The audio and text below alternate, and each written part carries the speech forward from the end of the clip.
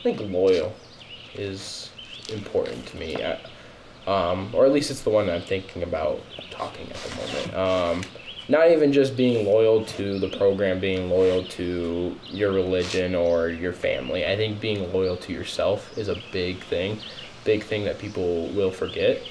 Um, not doing what they want to do is can be it, it's hard. So I, I like the idea of staying loyal to what I want to do, loyal to this makes me happy. I'm going to sacrifice everything I can to do this.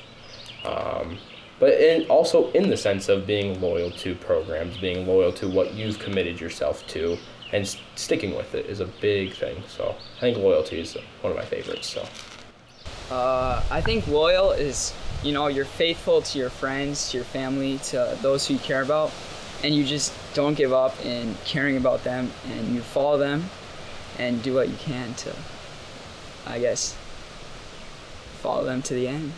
Uh, I think all the staff show loyalty and like not only do they lead, but they also sort of are loyal to the scouts and caring about them, and loyal to their coworkers and doing what they ask.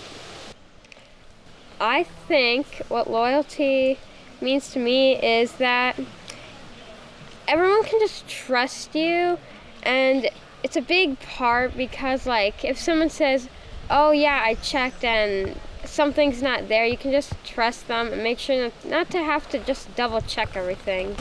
And you can feel more like a scouting family, especially in your troop, because you just you can trust each other.